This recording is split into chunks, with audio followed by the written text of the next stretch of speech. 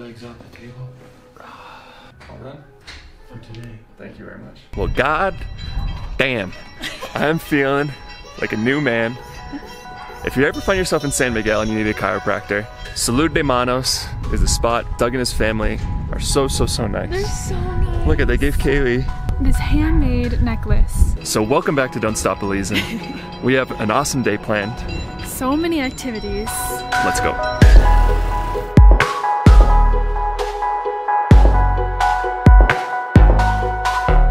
Video is basically going to be about all the things that we've learned about Mexico so far and what the things we've learned about traveling to Mexico and what it entails. And we have the perfect way to start out this video.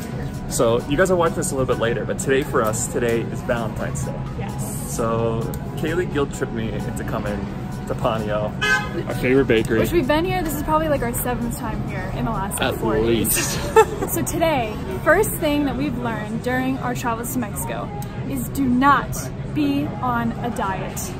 So it's a little bit of a joke, but it's kind of serious at the same time because the food here is amazing, but you're also gonna have a really hard time staying on any diet. When I came to Mexico, when we first crossed the border, I was trying to eat keto and it lasted for about a day because the food here, you're gonna try everything. There's so many like tacos and tortillas and pastries and meats and all these different concoctions of So many dishes, and there's so many that we've even tried yet. yeah. But we've loved everything that we've had so far. Tamales, So our first, so our first recommendation is Do not be on a diet if you're coming to Mexico and you want to truly engage in Mexican food.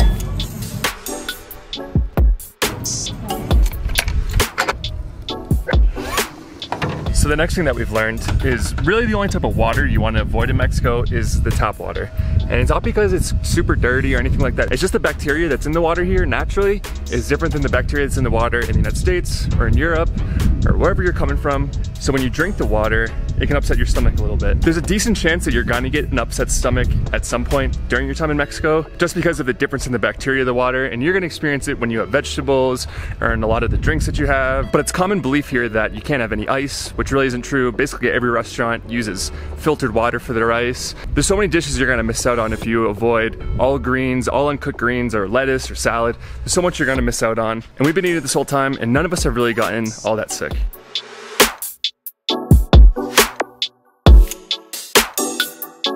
From our experience, Mexico is not as dangerous as a lot of you guys may think. So before coming to Mexico, we really did a lot of research on where to go and where to stay away from.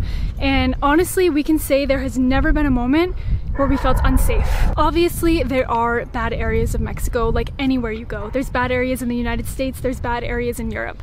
But as long as you're smart and you're safe and you're mindful of where you are, then you're gonna give yourself the best possible chance to be safe. Uh,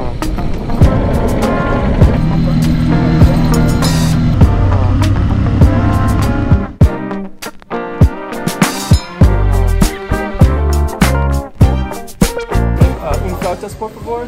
Y uh, uh, dos tortas, un chorizo y um, una queso de puerco. So something that we learned that's really important in Mexico is when you're talking with people, whether it's in a restaurant or basically anybody, if you start by speaking Spanish, even with just a little bit that you know, Yeah. if you just try to speak Spanish, they will respect you so much more and they'll be so dedicated to trying to help you out and work with you. And a lot of times they'll speak a little bit of the English that they know, and with their little bit of English and your little bit of Spanish, You usually make it work. you usually figure it out.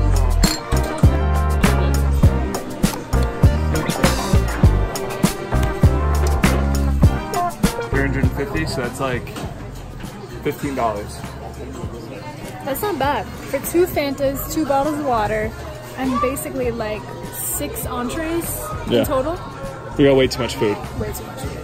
But that's the thing about Mexico is everything is so, so cheap. The only thing that is a little bit more on the expensive side is gas. For gas, you're gonna spend about 350 a gallon. I'd compare it to the same prices as California. Sometimes you'll get it $3, sometimes you'll get it up to $4.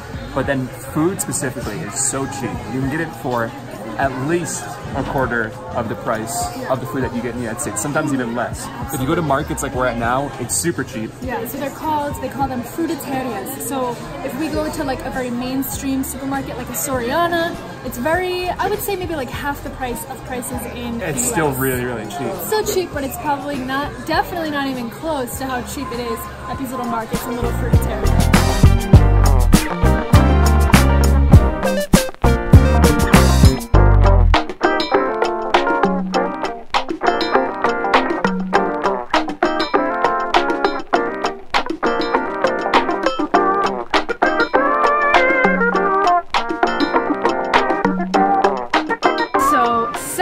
Time that me and Allie have stuck to our yoga. Feels so damn good. There's definitely more where that came from. I haven't been sticking with it. I know you haven't, but it's alright. Once I'm a little bit more mobile, I'll get up. Maybe out once Trent. ag-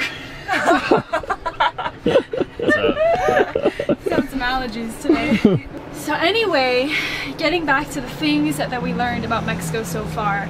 Um, the next one that I would say is Mexico, in, inland Mexico, is not just deserts and cactuses and just like The stereotypical The Mexico. Right. We were honestly so pleasantly surprised to see that there were huge freaking mountains and like pine trees and waterfalls and all of these crazy views that you would never imagine to be in inland Mexico. Jungles and caves Yes. and so much. so much. And there's so much more than just the resorts that you Right, think of, and the like beaches. Cancun and Acapulco and all these places where people go on vacation. There's so much more than just beach in Mexico. so anyway, it's time to go make some dinner. So for dinner tonight, we got a little chicken, pineapple, cheese, and raw onion tacos, baby. And peppers. and peppers. Kaylee whipped up a little dinner for us. I'm super pumped. And now this brings us to our next learning of one month of traveling through Mexico, and that is that the police here, the police that we've talked to, which has been this last week, we have to say we've talked to a lot of police officers, huh? We've talked to a More than ever in van life total before. Yeah. 100%. Probably like 20, Total bueno. 15 to 20 No. officers. Oh, Officers yeah, total, yeah, Yeah. definitely. good amount of officers, and I would say of every single one that we've met, they've all been super nice, super kind, and the only thing very respectful. The only thing that they've wanted is to check on our safety and make sure that we're safe and that we felt safe and that everything was okay. And that was it. And they approached us really nicely, really respectfully. The fact that we spoke Spanish with them also definitely helped. What? What? Nice fucking toenail, dude. Eating an onion. On your fucking pants. Dude, this is a feather. Oh god, I thought it was a toenail too. Okay, this Uh, is this is a feather. Much better. Sorry to I interrupt thought your it was a scene. toenail. Why? Do you think I was just picking my toenails while I Of was sitting course, because you always do it. Hold on, I I used to I used to do that, and then I got a toenail cutter, and things have changed. You're right. You're right. I bought a toenail cutter in my. I know you've been it you've been doing really well. you- So we're just headed to our camp spot for the night here in San Miguel. So one thing that we have learned while traveling through Mexico is the roads are absolute shiz.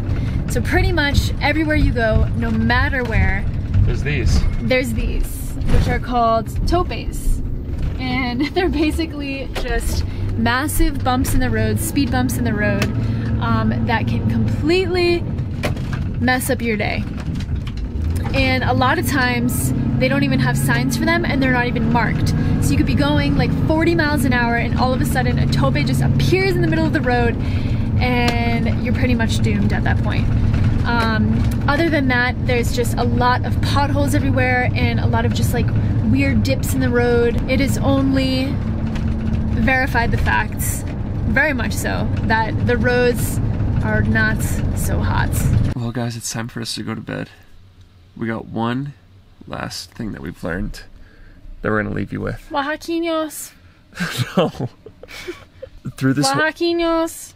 Kaylee, Okay, I'm sorry, I was trying to be funny. through this whole process of trying to get our bikes registered, we've learned so much about the laws of Mexico. Mm. And our big learning was that the laws and how they work here are very, very different Yes. than to the United States. 100%. When we first started this process to get our motorcycles registered, everyone on YouTube, we had hundreds of comments telling us that we're going to end up in jail Pretty much. and that what we were doing was illegal.